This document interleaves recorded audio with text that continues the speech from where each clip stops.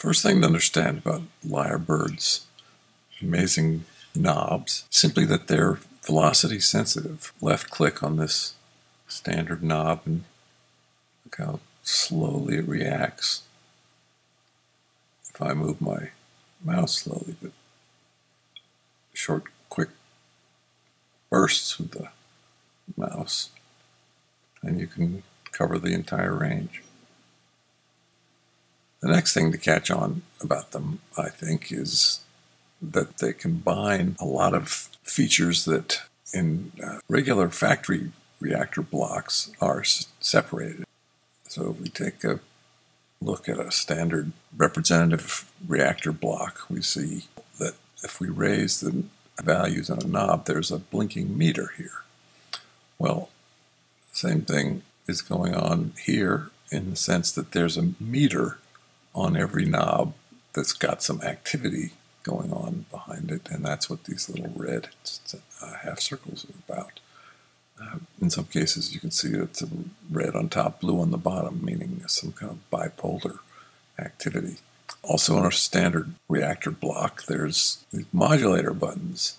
You can see that the A here is active, it's changing. Once we click on one of these buttons, we'll see a field appear, a lozenge shape slider actually, that applies the modulator to the, the knob that it's next to.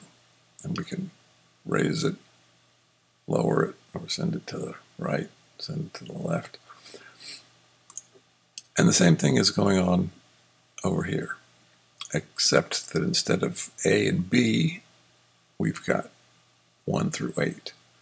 So these numbers are the same as these letters above the numbers, we see a knob, and some of them are flashing in exactly the same way that, that these are flashing. So in this case, the, the meter has been separated from the button and put on another knob, and that's because the, the knobs above the buttons can act as uh, attenuators or mixers at the structure level. You'll notice that each of these sources has an input. If you hook up another modulator to the source, say source 1, source 1 here, you'll notice another uh, meter appears next to the number. And you can blend between them with this knob. If there's nothing hooked up here, then you're blending between the original source and nothing. If you click on any of these numbers, just as clicking over here triggers the appearance of this lozenge shaped slider. Clicking here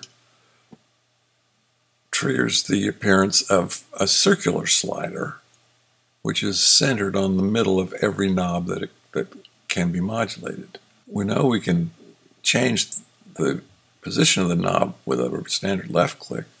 We can change the modulator with a right click. Notice that I'm changing that field just as I would over here on a standard on a standard block, except that also this is velocity sensitive, so that a very quick short stroke takes it to maximum, and a very long slow progress will bring it down. Slowly and precisely if that's what you're after. If you decide you actually would like to get rid of it, you, you can double right click to center it out to bring it back to uh, no modulation at all. Once you set a modulation amount and click away from the button, you'll notice that in the center of the button that you've adjusted, there's three indicators. One is simply the, the standard indicator that, that all knobs have, showing where you've set it with the mouse. But because there's a modulator also in there, the, the indicator has gotten smaller and another one has appeared showing exactly where the modulation is taking place. You notice also there's a little white wedge-shaped indicator telling you which of these various eight mod sources is actually doing the modulation. You basically have to think of the knob as divided into eight slices, four on the left and four on the right, and they go from 1 to 8 around the knob. And so the wedge that appears here is the fourth one up the left hand side. Double right click there to get rid of it and switch, say, to uh, number 3 here where we see a different pattern of motion there. Switch to 3 and jack that up all the way. Then unswitch it, we'll see that there's a different wedge highlighted. If we, uh, number 3, it's three wedges up from the bottom. And if we add four back to it, we'll see that there's two wedges together. We can fill the entire knob with wedges if we so desire. In practice, with your eyes on the knob you're curious about, clicking across the options, you'll get eventually to one where you can see that the center slider is not zeroed out. And if you want to change it or get rid of it, of course, double right click, and away it goes. But there's two on this one, so we can and we can see that because it's the outer indicator is still moving around. So come to the next one, there it is. Double right click, we'll get rid of it. The next thing to catch on to is that there are a variety of different types of knobs. Most knobs are unipolar continuous, 0 to 1. However, any knob that's got multiple white dots around the perimeter is actually a switch rather than a continuous knob. If there's five indicators, five positions. If there's two indicators, two positions.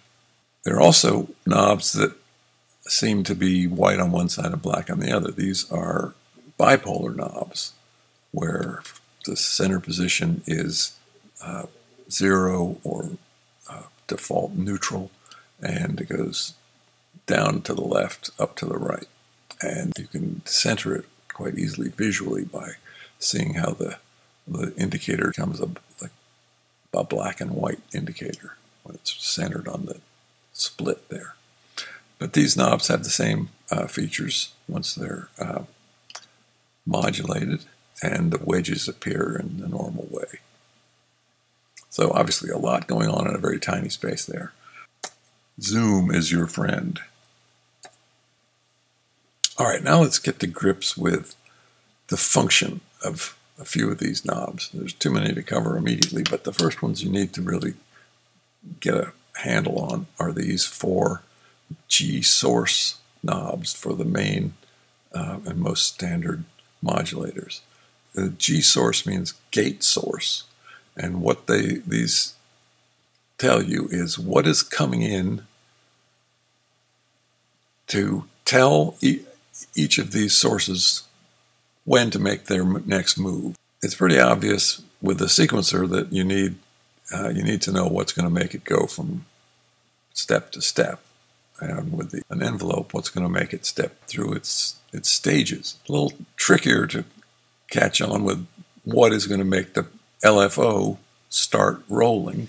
The knob here is already showing some activity, and uh, so what's making that happen? Same thing with the random. What's why is the uh, is there an off button for the random? If we roll over the the knobs, we can see how they're set. Up here, the sequencer is set to off. The other knobs in that same position are uh, the setting is to self. So what self means is that these modulators are basically triggering themselves. The reason the envelope isn't actually doing anything right now is because there's a second switch for it, which controls what mode the envelope is in. It goes from off to one shot. And there we see some motion. If we switch this to share, the next step up for, for all the knobs, the next one up is share. What we're doing is connecting the shared gate down here, which in, in this example is hooked up to the note in block. Now the envelope is being triggered by MIDI notes in. When we hit our MIDI key, we see uh, activity on the sustain button because we're in sustain mode here. And we're hearing a sound, not because the envelope is set this way, but, but because it's set this way and it's also the modulator for the level knobs for each of the two oscillators. So if we click on 2 for envelope to see what 2 is controlling, the first thing we'll see here that the sliders for the level knobs are jacked up all the way. So if we were to double right click on these,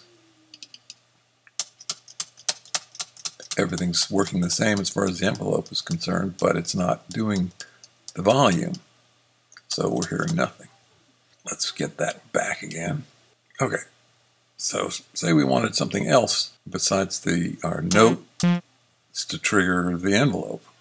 If we go back to self, if we switch the envelope to one shot, now it's self-triggering and each time it triggers it runs through the, uh, the, the three options.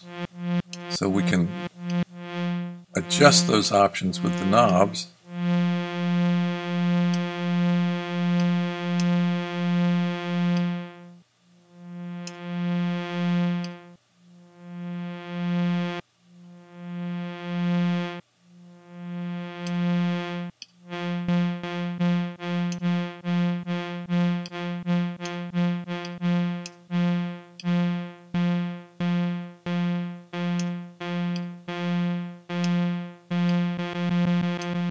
And of course we can modulate these. Add a little randomness.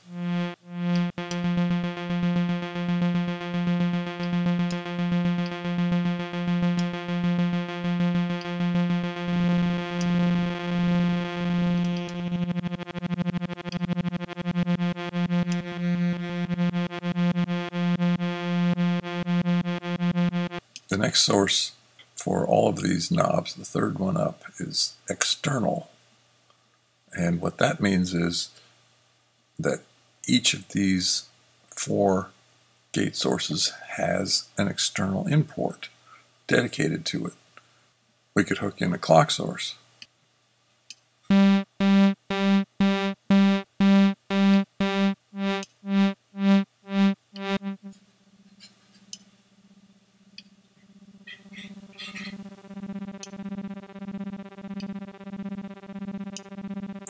So once again, the sustain knob doesn't do anything in sustain mode. Everything is determined now by the rate of the gate, the external gate, and the shape of the attack and decay.